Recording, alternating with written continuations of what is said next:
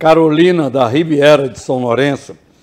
Ela diz o seguinte: deputada, como é os bastidores da política entre as mulheres? Na sua opinião, por que é baixa a representatividade feminina e o envolvimento das mulheres na política? Você pode como é o nome dela?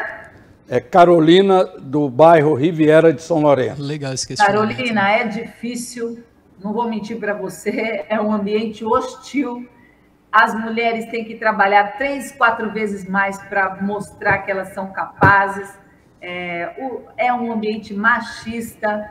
Quando a gente é firme numa entrevista, é, se eu sou mulher e eu tomo uma atitude firme, eu sou taxada de louca, se eu reivindico alguma coisa, por exemplo, que eu não tive espaço e eu vou lá e falo, olha, tem que me dar. Eu falo que eu estou fazendo mimimi. E não vejo isso, né? Se um homem político ele é firme, é, a imprensa, né, os meios vão falar que ele é corajoso, corajoso, tem uma atitude, a mulher já é louca. Então, é um, é um ambiente pesado. E não só por ser mulher, porque é um ambiente onde tem muita disputa de poder, onde infelizmente ainda tem muita gente que só quer ter poder pelo poder, né, para fazer coisa errada. Tem essas pessoas. Mas a gente tem que destacar também os que estão lá com bom propósito de ajudar, de deixar um legado, de mostrar que dá para fazer diferente, mostrar que a política é boa. A política é boa eu estou me realizando, porque eu vejo as coisas acontecerem.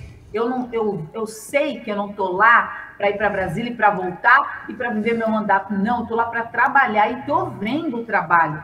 Os frutos eu percebo nas ruas, quando as pessoas falam, estou te acompanhando, isso é bom, isso para mim é, é a minha realização. Saber que a população da minha região está contente com o meu trabalho. E eu percebo isso. Percebo nas redes sociais, percebo nas ruas, né? E eu percebo que tem gente que está triste com isso. É o ambiente político viciado. Essas pessoas estão com raiva de mim. Porque elas estão, caramba, a gente estava aqui até agora, e aí veio ela, trabalha, trabalha, trabalha. Não é assim. É assim sim.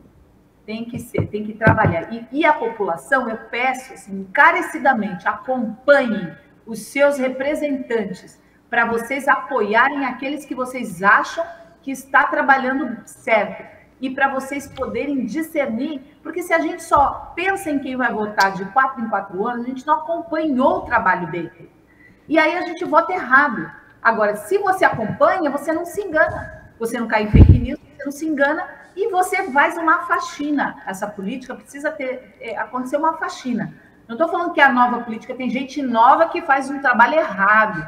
Tem gente nova na política que faz politicagem, que já entrou com a cabeça de, ah, eu vou me manter no poder, eu vou me, me perpetuar. E, e, tem gente antiga na política que faz um trabalho bom.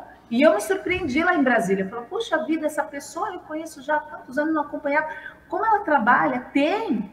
Então, é, é só tem uma saída, a população acompanhar. E já está acompanhando, mais do que antes, graças a Deus.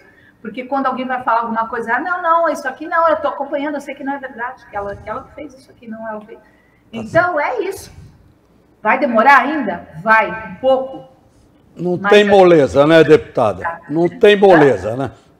Não é. tem moleza, né? Não tem, não tem.